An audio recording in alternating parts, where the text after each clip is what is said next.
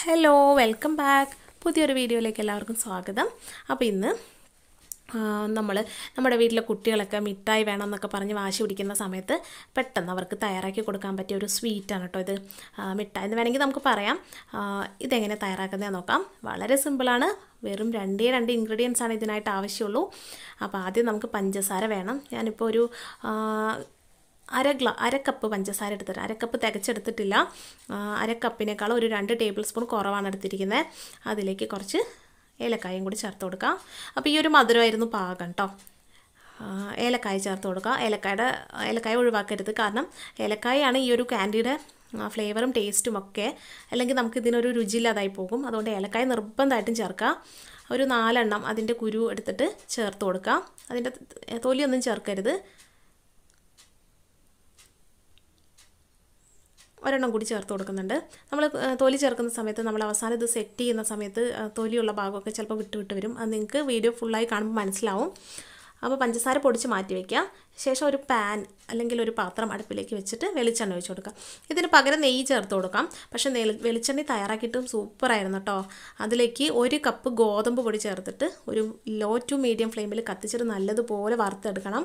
കരിഞ്ഞൊന്നും പോവരുത്. നല്ല ഒരു ബ്രൗണിഷ് കളർ വരും ഇത്. എണ്ണയൊക്കെ നല്ലതുപോലെ മിക്സായി കഴിഞ്ഞിട്ട് കുറച്ച് സമയം കൂടി ഒന്ന് വറുത്ത് കഴിയുമ്പോൾ നന്നായി വേവിക്കണം. കാരണം നമ്മൾ ഇനി ഇത് വേവിക്കുന്നില്ല.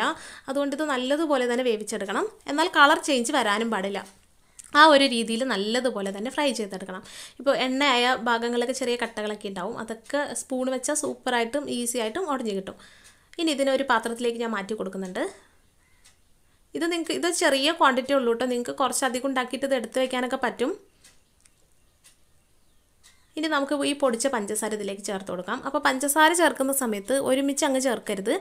ഒരു രണ്ട് ടേബിൾ സ്പൂൺ രണ്ട് ടേബിൾ സ്പൂൺ വീതം ചേർത്തിട്ട് മിക്സ് ചെയ്ത് മിക്സ് ചെയ്തെടുക്കുക ഒരു സ്പൂൺ വെച്ച് മിക്സ് ചെയ്താൽ മതി.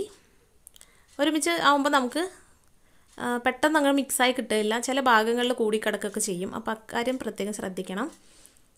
ഈ പഞ്ചസാര പൊടിച്ചെടുക്കുന്ന സമയത്ത് ചെറിയ കട്ടകൾ പോലെ ഇങ്ങനെ ഉണ്ടാവും. അതൊക്കെ അത്ര ബുദ്ധിമുട്ടൊന്നും ആയിരിക്കില്ല. പിന്നെ നമ്മൾ ഇത് കുഴച്ചെടുക്കുന്നുണ്ട്. അതുകൊണ്ട് പേടിക്കണ്ട. ഒരു ബുദ്ധിമുട്ടില്ല കേട്ടോ. എളുപ്പത്തിൽ നമുക്ക് ചെയ്തെടുക്കാൻ പറ്റും. ഇതുപോലെ അങ്ങ് മിക്സ് ചെയ്ത് കൊടുക്കാം. അപ്പോൾ നിങ്ങൾ വിചാരിക്കുന്നുണ്ടാവും ഗോതമ്പ് പൊടി കൊണ്ടൊക്കെ തയ്യാറാക്കിയ കുട്ടികൾ കഴിക്കുമോ ഇത് ടേസ്റ്റ് ഉണ്ടാവുമോ എന്നൊക്കെ നിങ്ങൾ വിചാരിക്കുന്നുണ്ടാവും പക്ഷേ നല്ല അസൽ രുചിയായിരുന്നു. നല്ല സൂപ്പറായിരുന്നു. അപ്പോൾ ഞാൻ ദേ അവസാനം സ്പൂൺ പഞ്ചസാരയും കൂടി ചേർത്ത് കൊടുക്കുന്നുണ്ട് കേട്ടോ. ഇനി ഒന്ന് ഇതുപോലെ തന്നെ വീണ്ടും മിക്സ് ചെയ്ത് കൊടുക്കുക ഇനി നമുക്കിത് കുഴച്ചിട്ടൊരു നമ്മൾ പുട്ടുപൊടിക്കൊക്കെ കുഴക്കില്ലേ അതുപോലെ കുഴച്ചെടുക്കണം. അപ്പോൾ അത് കുഴച്ചെടുക്കേണ്ടത് പാലിലാണ്. പാൽ ഒരു ഇളം ചൂടിലെടുക്കുക. തിളച്ച പാൽ വേണ്ട. ഇളം ചൂടുള്ള പാൽ ഇതുപോലെ ഒഴിച്ച് കൊടുക്കുക. ഒട്ടിപ്പിടിക്കൊന്നുമില്ല. നമ്മൾ വറുത്ത ഗോതമ്പ് പൊടിയല്ലേ അതുകൊണ്ട് തന്നെ നല്ല തരിതരിയായിട്ട് തന്നെ നമുക്ക് കിട്ടും. ഒട്ടിപ്പിടിക്കൊന്നുമില്ല. പിന്നെ കുഴച്ച് കൈ കഴിക്കാനും പോണില്ല. ഒരല്പനേരം ഒരല്പം നേരം ഇതുപോലെ ജസ്റ്റ് ഈസി ആയിട്ട് നമുക്ക് കുഴച്ചെടുക്കാൻ പറ്റും.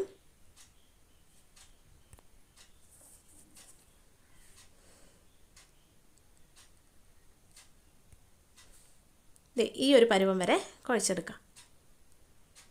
അപ്പോൾ ദേ ഏകദേശം ഞാൻ കുഴച്ചതായിട്ടുണ്ട്. ഇനി നമുക്കിതൊരു പാത്രത്തിലേക്ക് സെറ്റ് ചെയ്യാം.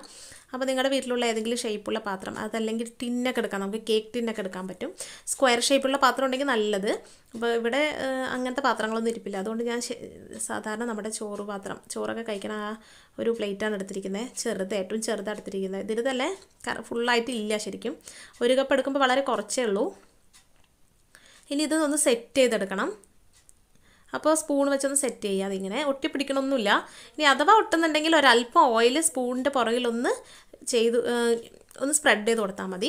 അപ്പോൾ നമുക്കിത് സ്പൂൺ വെച്ചിട്ട് പ്രസ് ചെയ്യാനായിട്ട് ബുദ്ധിമുട്ടുണ്ടെങ്കിൽ ഒരു കാര്യമുണ്ട് എന്താണെന്ന് വെച്ചാൽ ഒരു സ്റ്റീൽ ഗ്ലാസ് നമുക്ക് സ്റ്റീൽ ഗ്ലാസ്സോ അല്ലെങ്കിൽ പുറം വശം പരന്നിരിക്കുന്ന ഏതെങ്കിലും ചെറിയ പാത്രങ്ങളോ എടുക്കണം. പിന്നെ ഒരു കാര്യം പറയാൻ മറന്നുപോയി. പ്ലേറ്റ് ഗ്രീസ് ചെയ്തെടുക്കണം കേട്ടോ പ്ലേറ്റ് ഗ്രീസ് ചെയ്തെടുക്കണം. ദേ ഈ പാത്രം വെച്ചിട്ട് ഞാൻ ഇതുപോലെ പ്രസ് ചെയ്ത് പ്രസ് ചെയ്ത് സെറ്റാക്കി എടുക്കുന്നുണ്ട്. നല്ലോണം പ്രസ് ചെയ്യണം. അല്ലെങ്കിൽ ഉടച്ചെടുക്കുമ്പോൾ അത് ഉടഞ്ഞു പോകും. അവസാനം ഞാൻ കുറച്ച് ഓയിൽ മുകൾ വശത്ത് സ്പ്രെഡ് ചെയ്ത് കൊടുത്തിട്ട് ഒന്നും കൂടി സെറ്റാക്കി എടുക്കുന്നുണ്ട്. നമ്മൾ ഉടച്ചെടുക്കുന്ന പൊട്ടിച്ചെടുക്കുന്ന സമയത്ത് കറക്റ്റായിട്ട് കിട്ടണം. അപ്പോൾ ഇത് ഞാൻ ഫ്രിഡ്ജിലേക്ക് ഒരു രണ്ട് മണിക്കൂർ നേരത്തേക്ക് വെക്കേണ്ട കേട്ടോ ഫ്രീസറിലാണെങ്കിൽ ഒരു പത്ത് മിനിറ്റ് വെച്ചാൽ മതി. ഇനി നമുക്കിത് കട്ട് ചെയ്തെടുക്കാം. ഇപ്പോൾ ഇത് റൗണ്ട് ഷേപ്പ് ആയതുകൊണ്ട് നമുക്ക് എല്ലാം കറക്റ്റ് ഷേപ്പിൽ കിട്ടില്ല. സ്ക്വയർ ആണെങ്കിൽ പെർഫെക്റ്റ് ആയിട്ട് കിട്ടിയേനെ. ഇത് ഇതുപോലെ കട്ട് ചെയ്തെടുക്കുക ഇത് ഫ്രിഡ്ജിൽ താഴെ ആണെങ്കിൽ ഒരു രണ്ട് മണിക്കൂറും ഫ്രീസറിനകത്താണെങ്കിൽ ഒരു പത്ത് പതിനഞ്ച് മിനിറ്റ് വെച്ചാൽ മതി. അപ്പോൾ ഇത് ഇത് ഇതുപോലെ കട്ട് ചെയ്തെടുത്തിട്ടുണ്ട്. ഇതേ കണ്ടില്ലേ?